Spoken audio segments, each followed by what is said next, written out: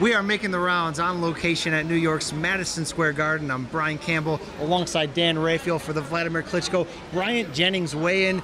Dan, uh, for the heavyweight title uh, at the world's most famous arena, but we saw the two match up. What stood out to you from seeing that? Well, I tell you what, Bryant Jennings to me, he looked calm, he looked poised, he didn't belie any emotion on his face. He looked in great shape. I mean, he's ready, but the question is, everybody can be ready, but you're facing Wladimir Klitschko, not just a regular heavyweight, and Wladimir, as usual, in fantastic condition just looked dead in his eyes. He's ready to fight. He understands what's going on. He says he doesn't pay attention to the history, wants to take care of business on Saturday night. He's done it 17 times before in this title reign. Looking for number 18. I think he gets it. We haven't seen Klitschko in the U.S. We haven't seen him in New York since both times. 2008 was the last time. We're seeing him here against an upstart, unbeaten American in Jennings.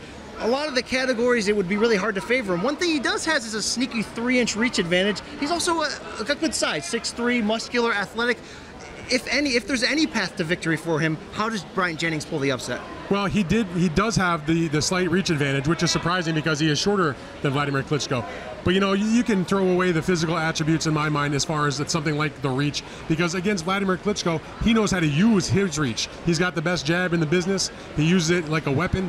And you know, look, I have nothing bad to say about Bryant Jennings, but he's a little green behind the ears. He's coming off two victories that got him this fight. Artur Szpilka, who was undefeated, not the biggest name, not the most talented guy, but a good victory for him, and a split decision with Mike Perez, where he fought here also at Madison Square Garden, where he didn't look particularly good. It was a hard fight for him. He kind of seemed to fade late in the fight now he's stepping up. It's like going from basically double A to the big leagues. And it's a hard, hard move to make when you're not just fighting a regular big leaguer, you're fighting the best big leaguer. So I don't see how he wins the fight, to be quite honest well, with you. to his credit, he told me in fight week that it's going to come down to one big shot if he's going to be able to land it. Dan, the problem is we haven't seen Klitschko really hurt, tested, or anything in a very long time. Now 39 years old.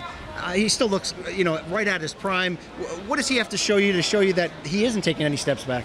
Well, listen, Wladimir's going to go out and do what he wants to do. He told me leading up to the fight in an interview that we did that he said it was going to be like always domination, the Klitschko way, dominant, and he would end the fight early. You know, you talked about the power of possibly Bryant Jennings and he needed to land one big shot. Here's the problem Bryant Jennings is 19 and 0 with 10 knockouts. He's not the biggest puncher in the world.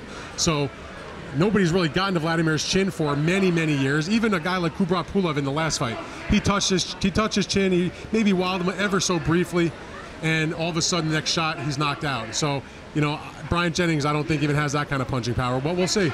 Dan, plenty of heavyweight luminaries here in, in attendance. Evander Holyfield, Lennox Lewis. You're hearing the Let's Go chant from Shannon Briggs in the background. But Dan, when we come down to the, the bottom line, your prediction, who wins on Saturday and why? Uh, Wladimir Klitschko by knockout sometime before the first half of the fight is over, five, six rounds. I'm going to be right there with you. Klitschko by six round knockout. But we'll see, of course, well, how it plays out at Madison Square Garden. And be sure to check out the ESPN.com boxing page for post fight highlights and analysis. And for Dan Rafael, I'm Brian Campbell. Thanks for watching.